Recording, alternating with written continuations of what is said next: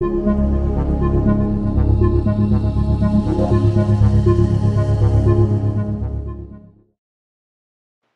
I'm David Fobes from Los Alamos National Lab here to introduce Power Models Distribution, an optimization-focused library for electric power distribution. First, I want to quickly acknowledge some of our key contributors and funding sources.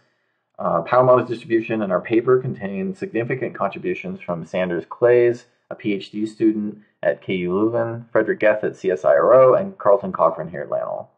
This project was funded primarily through the U.S. Department of Energy's Office of Electricity as part of the Clean Start DERMS GMLC project and the Resilient Operations of Network Microgrids project.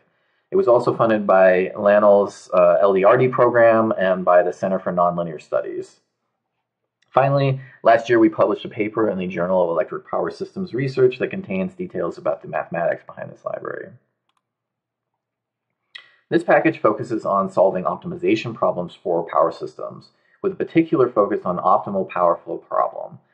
The goal of the optimal power flow problem is to minimize the cost of generation while optimizing the generator set points for a set of nonlinear engineering constraints. This was an extension of the traditional economic dispatch problem, which was essentially to minimize only the economic costs for the delivery of real power in a network, whereas the OPF problem includes many additional physical parameters such as both real and reactive power, voltages, transformer parameters, line losses, etc. While an optimization library for power systems of this type already existed, PowerModels.jl, PowerModels.jl is focused on the transmission level networks, and distribution level networks have their own complexities that cannot be adequately captured by a transmission focused library. The primary reason for this is due to the presence of what we call phase imbalance. While both high voltage transmission level and low voltage distribution in reality have multiple phases, at the transmission level, Typically, the powers and voltages across each of the phases are approximately the same, that is, they're balanced. And so transmission can be modeled by only including uh, a single line in the model, where in reality there would be three. In distribution networks, however, phase imbalance can be significant due to the single phase splits that you see at the end of uh, the edges of the network, and therefore phase imbalance cannot be so easily neglected. There's also been a remarkable increase in the penetration of what we call distributed energy resources like solar, wind, and batteries, uh, which can mitigate the need for traditional transmission network expansion, but don't have the same types of cost functions as traditional generation.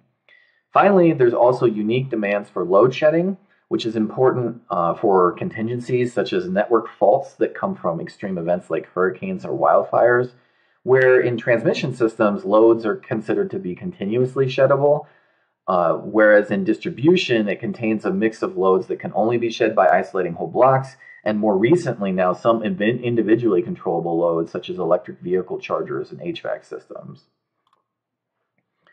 What these challenges mean in practice is that the components must be modeled as explicitly multi-phase. So for example, in the case of branches, the physics of power flow under phase imbalance are described in the framework of Kirchhoff's circuit laws, and therefore the coupling of neighboring conductors requires the impedance to be a matrix that includes both self and mutual impedance, where the size of that matrix depends on context, where you could have a 3 by 3 or even up to a 5 by 5 matrix. So we created Power Models Distribution, our optimization focused open source library for electric distribution network research. I note that this package is focused on exploring different optimization formulations and problems because there already exists some very good mature open source packages for unbalanced power flow, which is not an optimization problem with an objective function. We have built in some standard problems and a variety of common formulations already. You see our paper for more details. We have a shared software design with other packages in LANL's infrastructure models ecosystem, making easier switching between different infrastructure types. And we support a subset of the OpenDSS format to be compatible with many distribution research datasets that already exist. The question naturally asked by this audience is, why Julia? What about the language drew us to write the package in Julia? First is the fact that Julia is open source, free, and fast.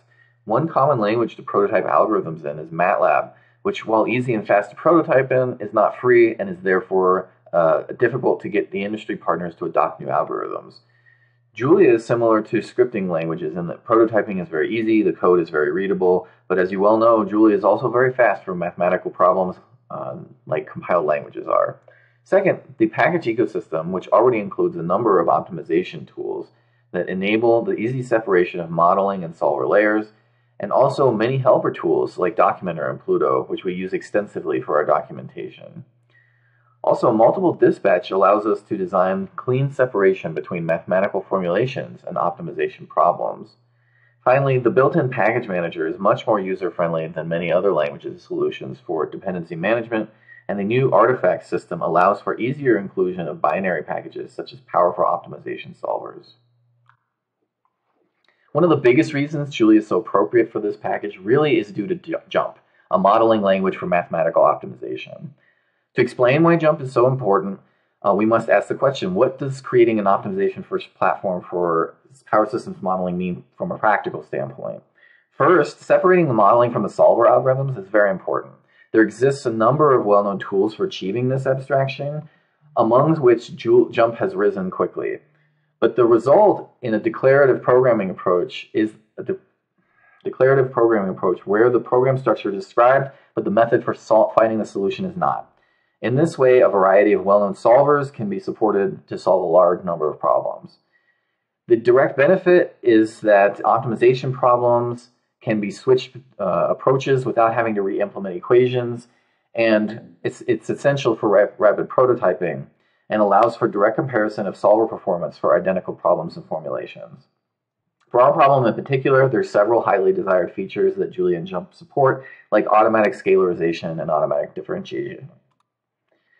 Multiple dispatch in Julia is what allows us to easily plug and play formulations with optimization problems. Essentially, we devise the tree of types that represent the different mathematical formulations, such as a nonlinear AC model or some linear approximations. When the user selects their model, they can still call the same solver function, and because of multiple dispatch, the type of model allows Julia to call the correct constraint functions. In this case, I highlighted a constraint for storage losses where it dispatches either to the ACR or to one of the linear models. We've strived to make the user experience as simple as can be expected for an optimization focused tool. Uh, this is an example of the workflow for Power Models distribution for a new user in a Pluto notebook where a user selects an input file, loads it, selects their formulation, their optimization problem, and an appropriate solver, and easily solves it with a series of simple commands. Thank you for your attention. We hope you enjoy Power Models distribution. You can easily add us using Julia's built-in package manager. You can contribute on GitHub, and you can see more details in our paper published in the Journal of Electric Power Systems Research.